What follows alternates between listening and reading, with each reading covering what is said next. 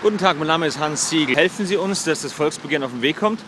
Tragen Sie sich ein bis 30.01.2013. Grund, Bildung darf nichts kosten, weder in Bayern noch sonst überhaupt irgendwo weltweit. Bildung muss kostenlos bleiben. Ja zur Bildung, nein zu Studiengebühren. Bis dann.